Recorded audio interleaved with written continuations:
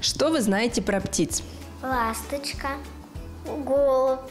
А, они питаются разными жучками, тарачками. Знаете ли вы таких птиц, которые умеют разговаривать? Попугай. Попугай. Они повторяют э, то, что говорят люди. А на каком языке они могут говорить? На русском, на английском. Какой язык скажете, такой и он будет повторять. Правда, они по-человечески не умеют разговаривать, они разговаривают на своем языке. На птичьем языке.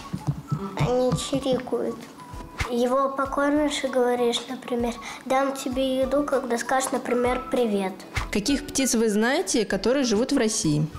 Снегирь, синичка, ласточка, голубь, желтобрух. А почему в России живет больше голубей, чем попугаев? Потому что некоторые могут пере- перезимовать у нас зиму, а другие не могут.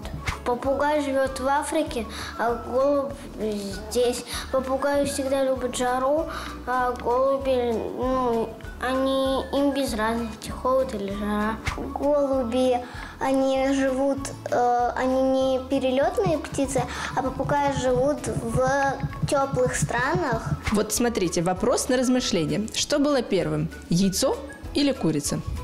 Курица. Чтобы курица б- появилась, нужно яйцо, потому что из яйца совершена курица. Это безответный вопрос. Это такой же вопрос, что раньше появилась мама или ребенок.